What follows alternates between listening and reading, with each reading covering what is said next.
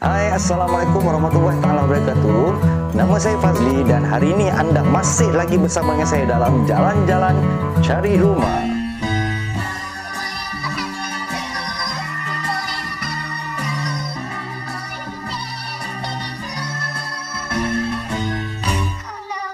Hari ini saya akan bawa anda ke apartmen Middle Park 2 yang berada di Kuchai Lam.